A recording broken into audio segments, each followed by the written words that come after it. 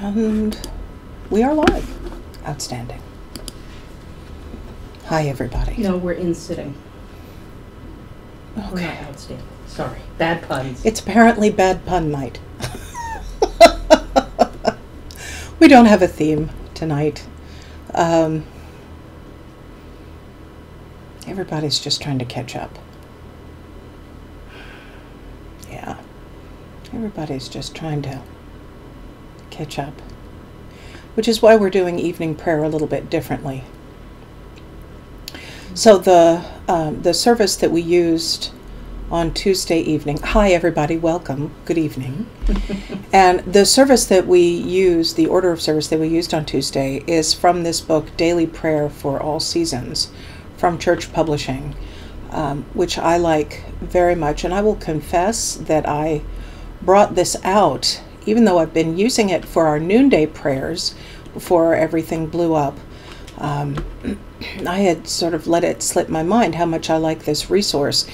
And I saw a priest who is very much beloved by many of you, Adrian Dawson, using it for noonday prayers the other day. Um, uh, it, well, it, we don't have a theme in mind. Nobody gave us a suggestion, and honestly, we're a little burned out. Um, and um, although uh, Mary just made an outstanding pun, and so puns are encouraged. Everybody can participate in theme night um, if it's going to be pun night. Um, be a little more subdued. So, in any event, um, so I, so I confess that it was Adrian Dawson who reminded me um, of how great this resource is. And on Tuesday, we used the Vespers service from the uh, first chapter in this book um, that is uh, prayers for ordinary time. But there are two sections because ordinary time goes on for a long time. Um, ordinary time goes on until Advent, and so the the uh, order of service that we used on Tuesday and last night for Zoom evening prayer was from the section on creation. And tonight we are going to use the order of service from the section. Um, Joel, that's so punny. What did he say? Yeah, it's so punny. He's great. Uh, we're using from the section that is on rest. But before we begin, I want to make clear, and it'll be clear within the service of prayer itself, that um, it's not about rest in the sense of inaction. Um, it's about rest in preparation for action. It is the rest that is necessary to be effective in action. Um, and I'll be honest that I'm being a little selfish in using this, in that um, there hasn't been a whole lot of rest recently. Um, and I think that's true for most people.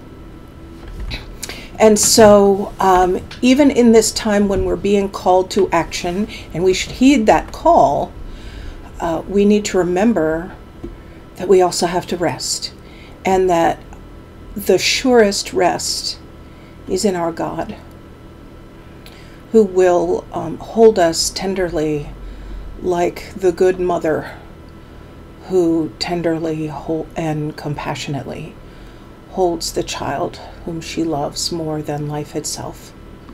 So let's see who all is here. Rich is here, Anne is here, Nancy is here, Joel is here, Christopher is here, Tony, Tony and Jed. Sorry, Joni and Ted are here. Um, and I'm so grateful that you're all here. So I hope you can see. Um, I hope you can. I hope it's big enough for you to see the. Um, here it is. That's big enough for you to see the service here on the. It's on the left side of my screen. I don't know what side of your screen it's on, but it's obviously, you know, a piece of paper. All right. So I hope that works out. All right then. So, as we turn on lamps at dusk, we greet the evening by welcoming God to abide with us anew. I encourage you to say aloud the lines that are bolded, and I may also invite you to um, also say aloud the, for example, the song of our true nature when it comes. Holy One, lift our burdens. For your yoke is easy. O God, as the showers renew the earth, bathe us in your healing power.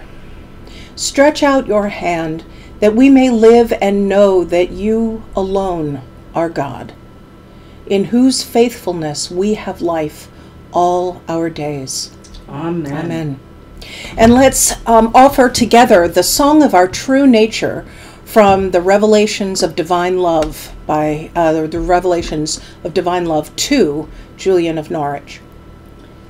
Christ revealed our frailty and our falling, our trespasses and our humiliations.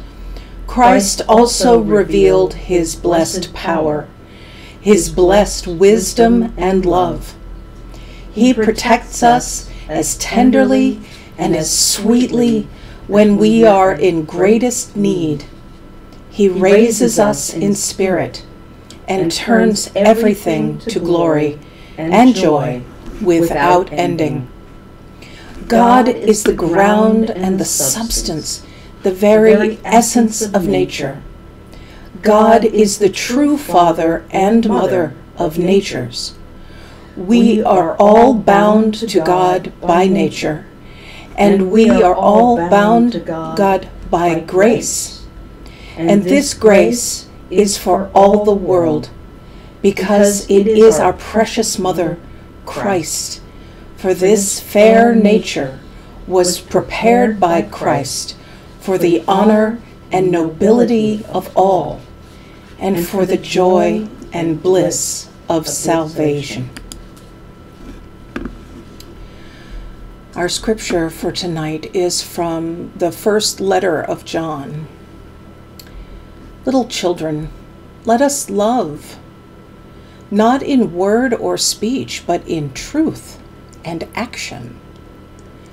By this we will know that we are from the truth and will reassure our hearts before Him whenever our hearts condemn us. For God is greater than our hearts, and He knows everything.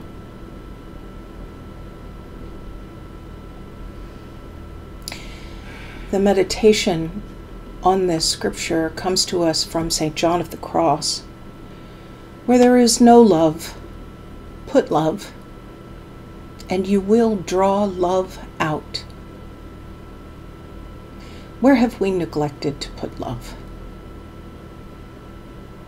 Where do we ask that love be drawn from us? Let's take half a minute of silence and I'll say a few words.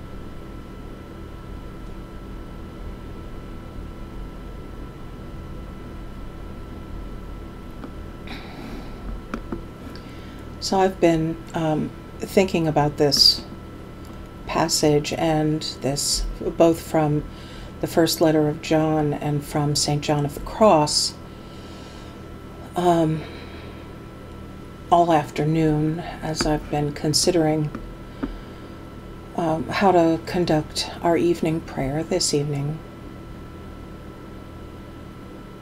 And I feel like it's really important um, even at evening prayer, when we are asked to examine ourselves, um, honestly, um, which can sometimes be painfully.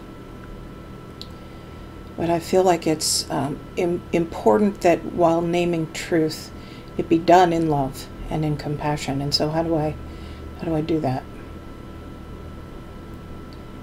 Uh, because uh, people have been in tremendous love and trust, um, been asking me to question myself. And, uh, and that is painful, but I recognize um, the loving uh, and the, the love and the trust that lies behind that, um, particularly in this time.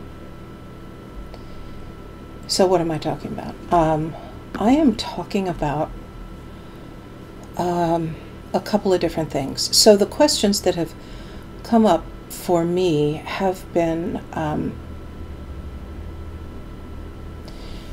to ask me to examine myself and um, to to examine the nature of my love for people who are different from myself. I love a lot of people who are different from me. I am very blessed to have many friends. Very blessed to have many friends. And many of them are a lot like me, and many of them are not. And um, and in my family, there are people, mostly people who are like me. Not that there are a whole lot of them left, but there are a lot of there are enough of them left. Most of them are like me, and um, there are ways that they are not like me. Oh, Retta, get to the point. The point is that um, although I believe that I am a loving person, there are ways that I fail to love. And some of those ways actually have to do with where I identify essential, um, um, absolutely essential principles of justice. And it has been called to my attention that my rage about some of the events of this past Monday night were significantly more poignant than my sense of despair about the murders of Breonna Taylor and Ahmaud Arbery and George Floyd and um, all of the people that I am aware of uh, who have been murdered by the police over the years.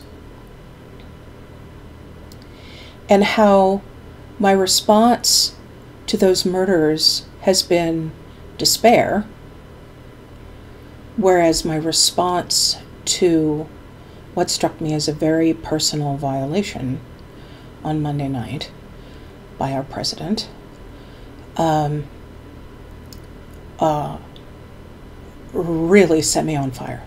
Really set me on fire in a rage, in a rage. And um, to ask why one lit a fire in me and one uh, put me in a place of feeling um, unable to do anything, right? It put me not in an active state, but in a passive state.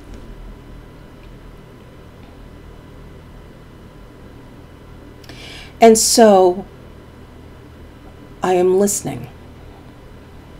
I'm listening to that and I'm sitting with that. And I feel like love is being drawn from me by um, people taking a great risk and telling me where I need to examine myself. Where am I moved to action? And uh, where am I moved to throw my hands up? Hmm. That is something for me to think about. Maybe it's something for you to think about. I noticed someone um, talking about a perfectly terrible thing that happened over the past two days where a, a dog was mistreated on camera. And the rage that people had about that, like the rage that people have about the damage that's being done for property, is um, significantly hotter and drawing white people to um, to speak out or to take action far more than uh, years, generations um, of systematic oppression, suffering, murder. So, here's what I want to ask of all of us. Um, and it is a great courage. I'm asking us all to um, take our deep breaths and to summon great courage and to speak honestly and truthfully about where we are hurting and how people hurt us. And then I want us all to summon our courage and deep trust and listen to one another. When someone speaks to you in love and trust to tell you where they are hurting, the only Christian response is to courageously listen.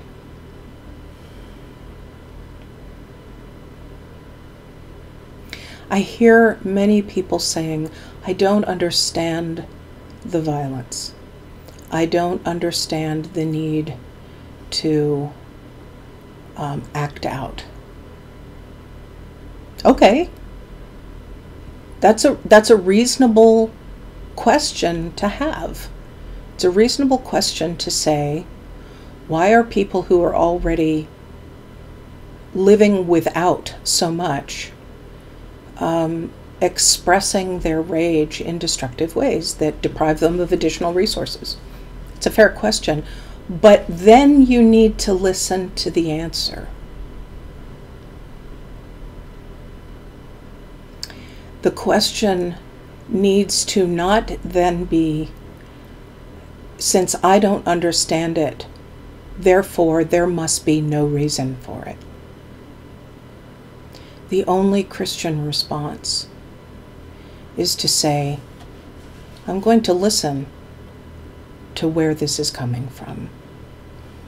And I'm going to believe you when you tell me about your pain. And I want to tell you, those of you out there who are white um, are going to find this process to be excruciatingly painful.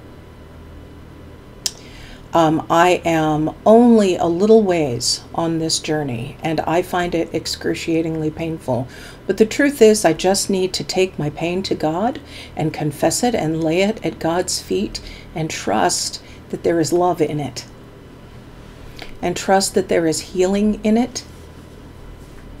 That God's heart is greater than mine. And God is able to encompass my pain and the pain of someone who is lovingly telling me about theirs. And that only then can there be healing and true reconciliation. And then work together beyond simply reconciliation, but restoration, restorative justice, a true healing of hearts, of relationships, and the world. And so rest is necessary for that, but not for its own sake, but for us to gather our courage and endure the painful process of truth, of listening of sitting with truths that hurt, knowing that on the other side and throughout the whole process, there is the love of God. Let us participate in that together. Amen. All right. let us um, continue. Oh, hi, Andrew. Welcome from Uganda. Isn't that lovely? Um, Andrew, by all means, uh, make yourself known. Let us let us see your face if that's possible. Acting out comes from trauma, says Nancy. That is absolutely. And um, Christopher, you're 100% white. Uh, hun- sorry, 100% right. Freudian slip is showing. There's your pun. Um, a lot of the violence came from white supremacists infiltrating the protests. That is absolutely true. That is 100% true. But it is also true that um, that the frustration and the anger of many people is such that it feels like there is no other way to express it that people will listen to than to um, uh, th- than to uh, than to create a fracas, right? Um, that that they're that the only way to get people to participate is to attack property, um, and um, of course, of course, I don't endorse violence, but um,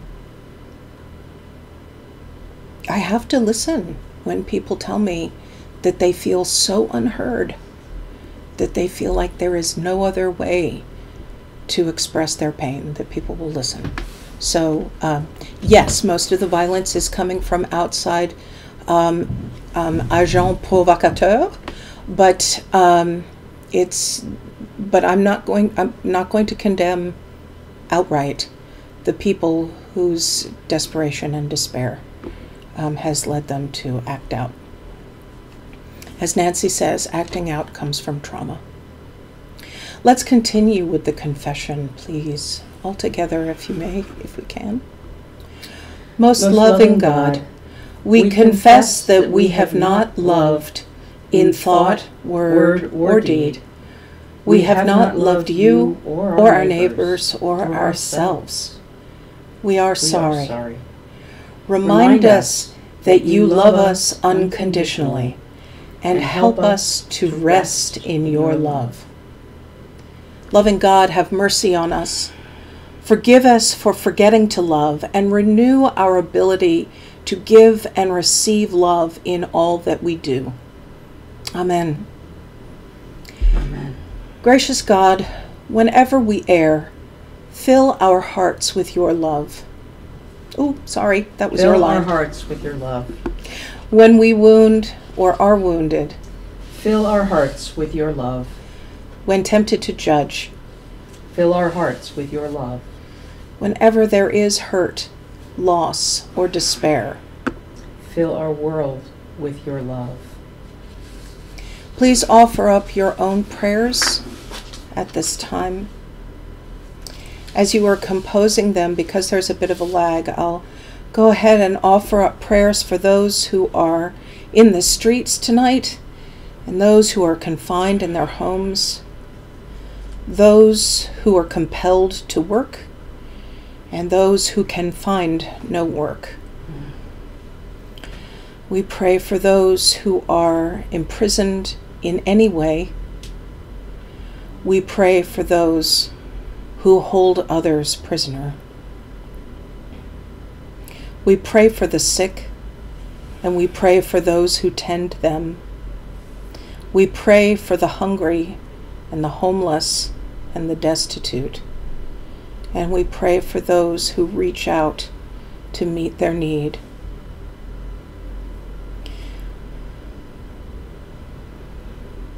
We pray for the repose of the soul of Sally Jane Boone, one time member of Trinity Episcopal Church in Towson, more recently of Emmanuel Glencoe. May she rest in peace, and may light perpetual shine upon her.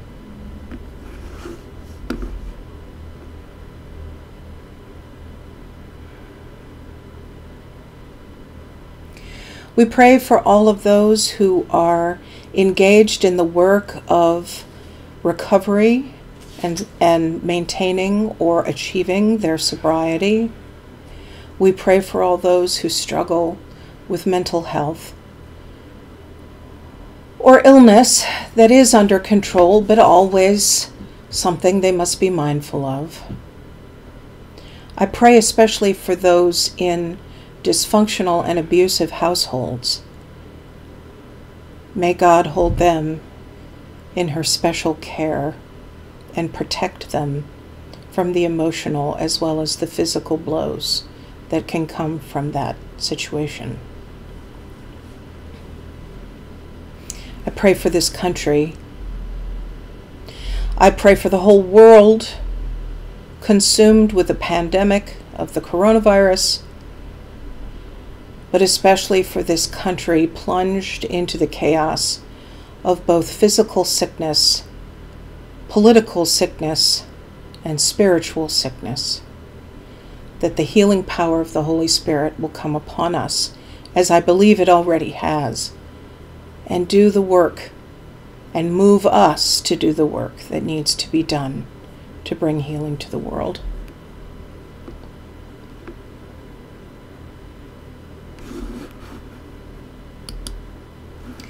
Make us faithful instruments of your peace.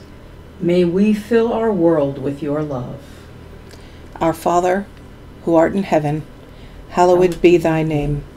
Thy kingdom come, thy will be done, on earth as it is in heaven. Give us this day our daily bread, and forgive us our trespasses, as we forgive those who trespass against us. And lead us not into temptation, but deliver us from evil. For thine is the kingdom, and the power, and the glory, forever and ever. Amen. Let's say the prayer attributed to St. Francis together. Lord, Lord make, make, me an, an instrument of your peace. Where there is hatred, let me sow love. Where there is injury, pardon. Where there is doubt, faith. Where there is despair, hope. Where there is darkness, light. And where there is sadness, joy.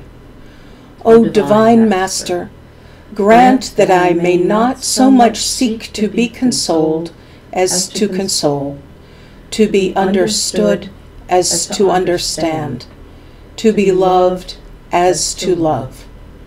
For it is in giving that we receive. It is in pardoning that we are pardoned. And it is in dying that we are born to eternal life.